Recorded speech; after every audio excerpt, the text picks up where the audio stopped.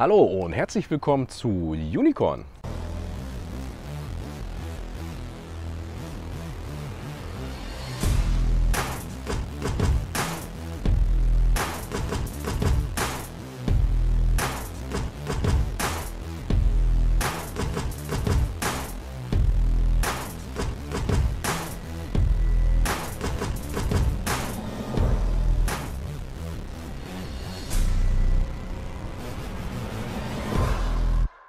So, Freitagabend, Zeit für eine neue Folge von Unicorn. Heute mal hier von der Terrasse aus zum Start des Videos.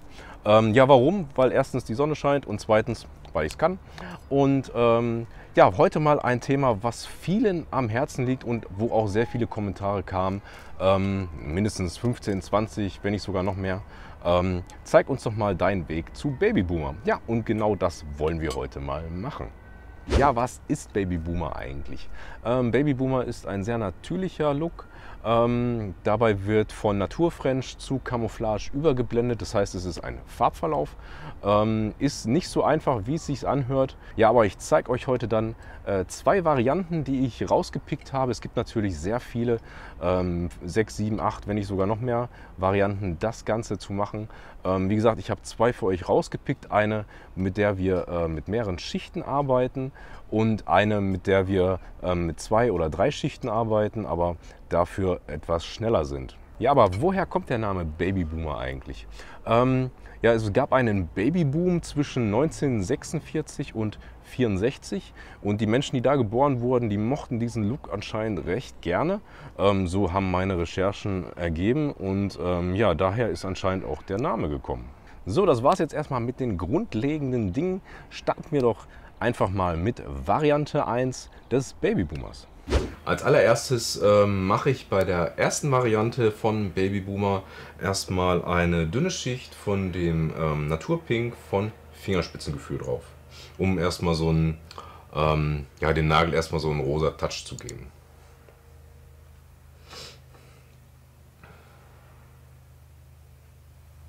Einfach nur eine dünne Schicht, muss jetzt nichts dickes sein.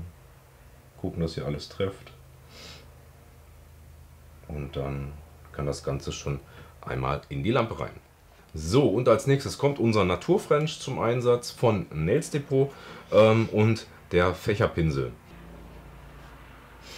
Hier wollen wir ja in mehreren dünnen Schichten arbeiten. Das heißt, die erste dünne Schicht wird, ähm, werde ich hier bis zur Mitte auftragen und das Ganze dann bis dahin ausblenden, so dass der Farbverlauf ungefähr in diesem Bereich ist.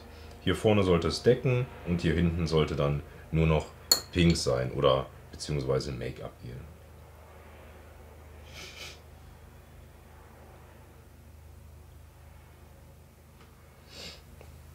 Das Ganze ruhig dünn auftragen, also nicht zu dick.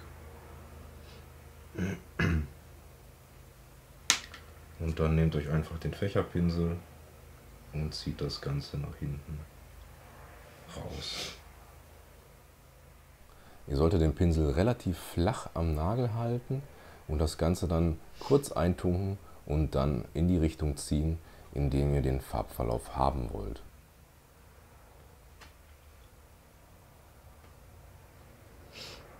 So, und dann kommt die erste Schicht in die Lampe rein. So, dann kommt die zweite Schicht. Die zweite Schicht tragen wir nicht so weit auf wie die erste Schicht. Die kommt dann ungefähr bis hierhin, auch nicht zu dick. Und dann wird auch die nach hinten vorsichtig mit dem Fächerpinsel ausgeblendet. Versucht das so gleichmäßig wie möglich hinzukriegen.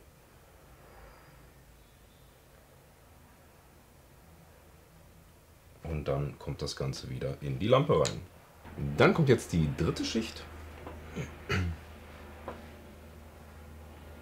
Die auch wieder ein wenig weniger als die davor, also ein Stückchen höher ansetzen und das Ganze dann auch wieder nach hinten ausstreichen.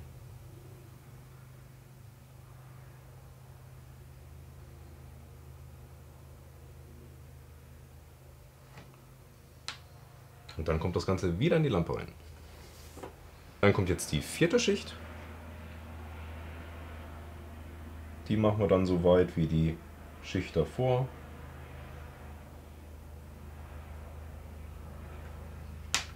Und das wird dann auch wieder übergeblendet.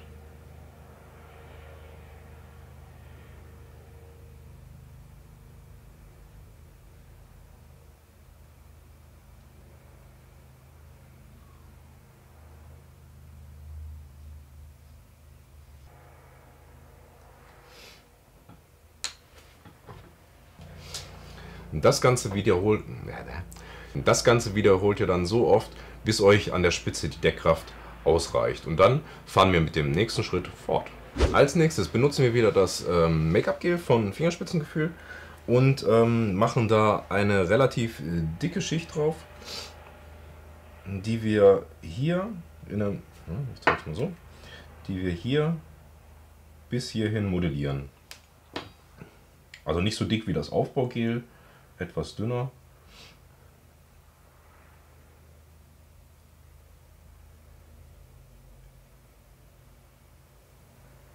So bis hierhin.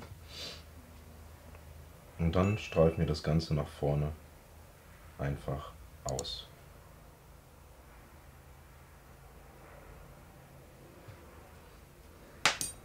Dann könnt ihr euch auch wieder den Fächerpinsel nehmen und das Ganze dann nach vorne ausblenden.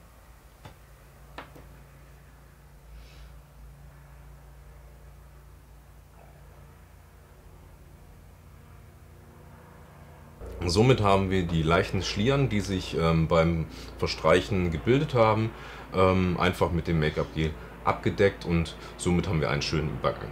So, der letzte Schritt wäre dann das äh, durchsichtige Aufbaugel, also ein klares Aufbaugel.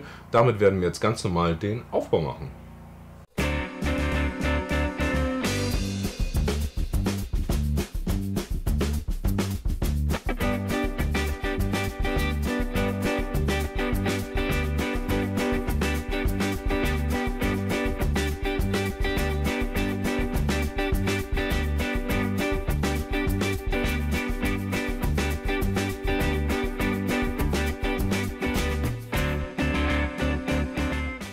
Wenn ihr da noch ein bisschen rosaneren Touch rein haben wollt, dann nehmt ihr einfach eine rosa Versiegelung einfach drüber und dann seid ihr auch schon fertig mit dem Thema. So, bei der zweiten Variante benutzen äh, so, bei der zweiten Variante benutzen wir zwei Schichten. Einmal eine etwas dickere Make-up-Schicht und eine dickere ähm, French-Schicht. Wir fangen jetzt erstmal mit der dickeren Make-up-Schicht an. Ich mache erstmal eine ganz dünne Schicht drauf.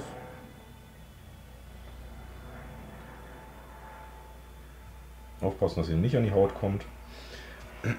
Und dann kommt die dickere Schicht.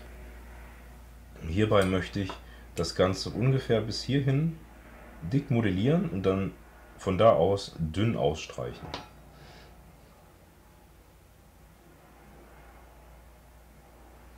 Nicht unbedingt so dick wie Aufbaugel, aber schon eine ordentliche Portion. So bis hierhin. Und das Ganze dann nach vorne hin ausstreichen. Achte dabei darauf, dass ihr kurz eintunkt und das Ganze einfach nur nach, nach vorne wegzieht. Mhm. Und dann kommt das Ganze in die Lampe rein. So, als nächstes kommt die Fremdschicht. Die werden wir auch ein bisschen dicker auftragen. Und zwar hier bis hier vorne ungefähr. Könnt ruhig ein bisschen rumziehen, also so eine kleine Smileline machen. So dass es auf jeden Fall vorne deckt.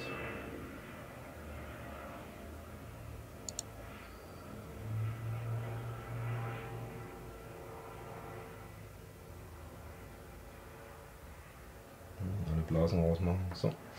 Und dann auch wieder den Fächerpinsel oder was ihr dafür benutzen wollt und das Ganze dann nach hinten ausstreichen. Ihr könnt natürlich nicht nur den Fächerpinsel nehmen, ihr könnt natürlich auch noch so einen oder so einen Pinsel nehmen. Ich würde euch aber empfehlen, einen Pinsel zu nehmen mit etwas längerem Haar.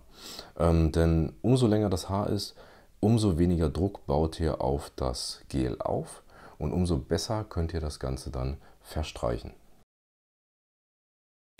Und auch hier werde ich wieder den Aufbau mit einem klaren Aufbaugel machen.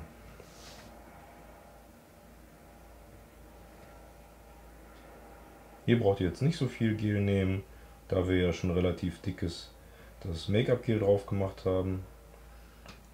Einfach eine relativ dünne Schicht. Hauptsache ihr habt den Apex richtig schön rausgearbeitet und das Ganze dann wieder in die Lampe rein.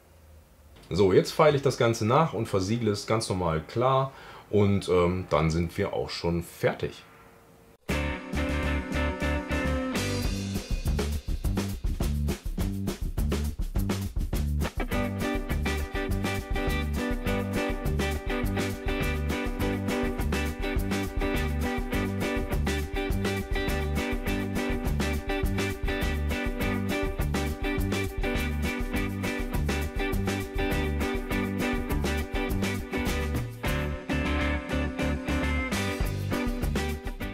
So, das war es jetzt auch schon mit dem Thema Babyboomer. Ich hoffe, es hat euch gefallen. Wenn ja, dann gerne sharen, teilen, liken. Ihr kennt das ganze Spielchen. Auf meiner Internetseite auch mal gerne vorbeischauen. Ich habe meinen 360-Grad-Rundumgang durch mein kleines Studio erneuert. Also da gibt es wieder ein bisschen was zu sehen. Ich habe so ein bisschen umgestellt und so. Falls euch das interessiert, könnt ihr da gerne mal reinschauen. Ähm, ja, ansonsten bleibt mir nicht viel zu sagen, außer ich würde mich freuen, wenn ihr beim nächsten Mal wieder einschaltet. Euer Chris.